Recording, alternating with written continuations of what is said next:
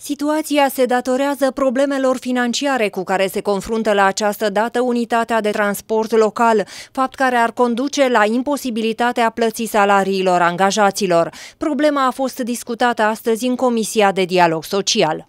Oamenii spun simplu, nu ni se dau salariile, oprim lucru. Oprirea transportului local va afecta toți cetățenii din Baia Mare, lucru pe care nu-l dorim dar nici nu dorim să ne ascundem după tot felul de hârtiuțe și să tot invocăm legea că nu, că nu se poate, că nu se dă și uh, să amăgim uh, salariații. Sindicaliștii au ținut să sublinieze că nu este pe placul lor contractul de transport din zona metropolitană și că pierderile înregistrate pe anumite linii externe le pun în pericol salariile. Nu mi se pare corect contractul, din punctul nostru de vedere, semnat cu zona metropolitană. Nu poți să beneficiezi de servicii și să nu plătești serviciile.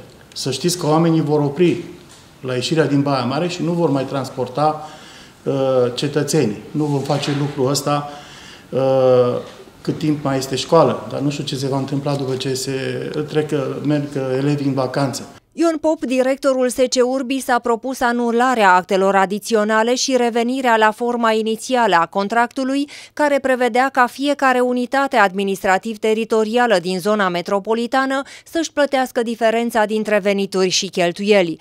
Carmen Pop, director executiv economic al primăriei Baia Mare, este de părere că problema plăților restante ar putea fi rezolvată printr-o rectificare bugetară. Să plătim până la finalul lunii mai um, restanța lunii februarie, respectiv uh, luna martie, uh, de așa manieră încât uh, la începutul lunii iunie, cel târziu, dacă nu până la sfârșitul lunii mai, să intrăm cu rectificare bugetară, să putem acoperi o parte din subvenția necesară funcționării societății Urbis din punct de vedere al municipiului Baia Mare.